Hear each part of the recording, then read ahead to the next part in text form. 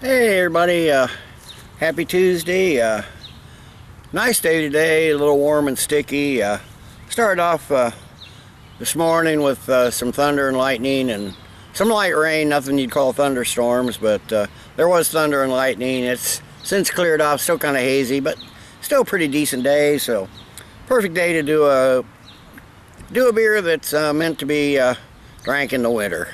Yeah, right.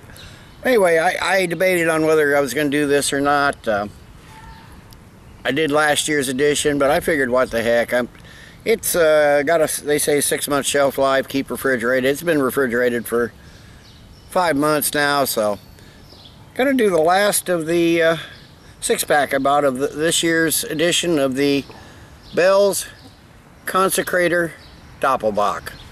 Uh, darn good beer. I'm. It might still be on the shelf someplace, but if it if it is, it's getting up there. Uh, but anyway, uh, from the website, it says uh, reddish brown in color with a mild hop profile.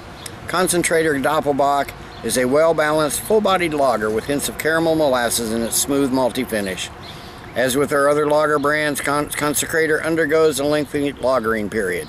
Unlike the six-week profile of the other two brands, Consecrator experiences a full three months in the fermenting vessel giving it an exceptionally smooth character. In order to best preserve the flavor and shelf life of the beer, it is recommended that Bell's Consecrator Doppelbock be kept refrigerated, which it has been. 8% uh, ABV, uh, brewed, it says brewed for a Fat Tuesday release. This was bottled on January 23rd, so it's just just five months old, not quite five months old, so uh, getting towards the end of its six month shelf life so let me get it in the glass. Just a standard Bell's cap. Just going to use a standard pint glass here.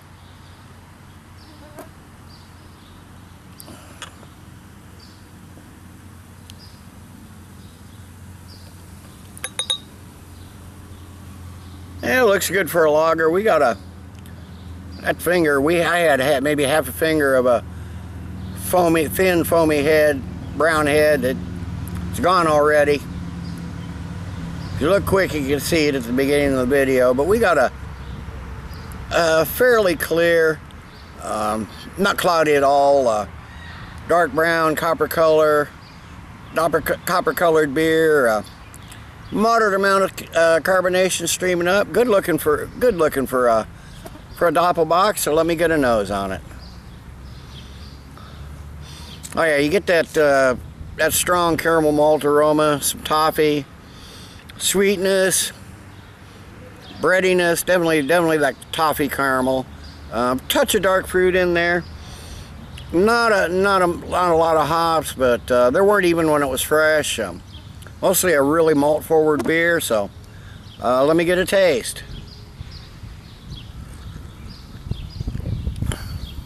Yeah, you definitely get that really, really rich malt, caramel flavors, um, almost a nutty nuttiness like some uh, roasted chestnuts, um, toffee, maybe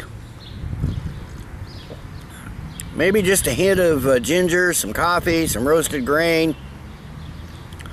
Very, very sweet, uh, right down to the finish. Um,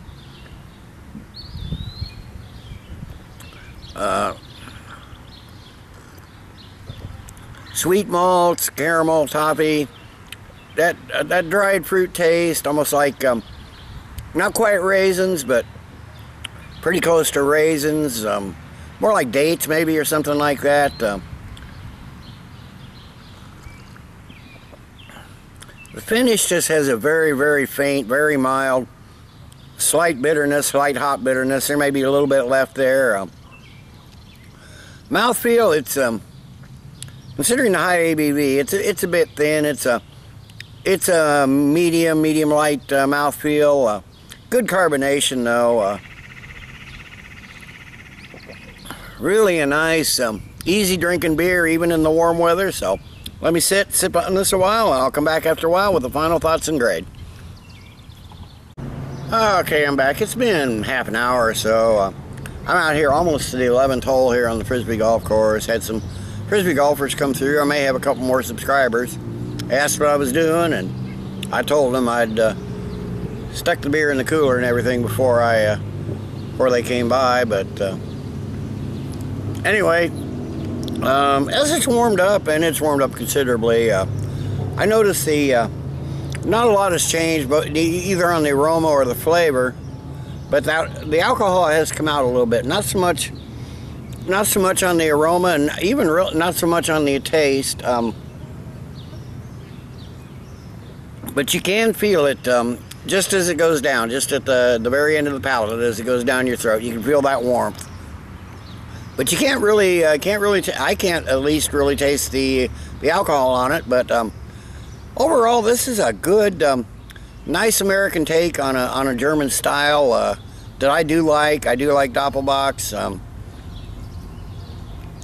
I, I buy it again. Uh, I'll buy next. You know, I'll buy, I'll buy next year's again when it comes out. I, you know, I normally don't buy more than the six pack, but uh, anyway. Uh, I'm gonna. I can't even remember. I did did rate it before. I can't even remember what I gave it. I'm gonna have to go back and check and see. But um, I'm gonna give uh, the 2013 Consecrator Doppelbock from Bell's.